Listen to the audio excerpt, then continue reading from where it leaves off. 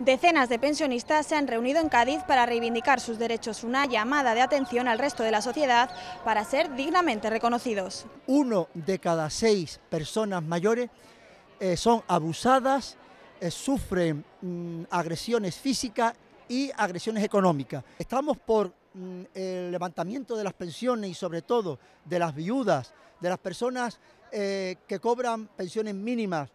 o pensiones no contributivas, porque en estos momentos, si es verdad que la pensión media de Andalucía está en 800 y pico euros, eso no quiere decir que todo el mundo gane 800 y pico, hay gente que gana 2.000 y otros que ganan 300, pero la media sale así.